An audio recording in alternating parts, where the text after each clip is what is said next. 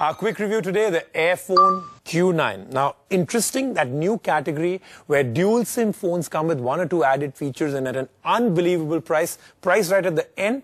Right now, let me tell you what all this phone has. So, Dual SIM, I already told you.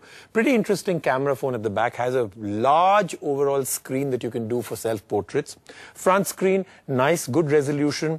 Uh, has this little thing which looks like a trackball. It's actually not just something to navigate through. Has a dedicated FM button. Yes, FM button. No antenna required other than the one built in. So you're not using your headphone. You're just using this. Interesting, right? Has dedicated buttons for all your audio, your media, your video files, everything controlled from here.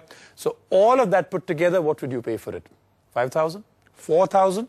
How about 2,500? That's the price for this phone. I think that's a startling price point. The QWERTY keyboard works very well. You can type very fast, very well spaced out keys. So we're giving it 9 on the Cell Guru scale.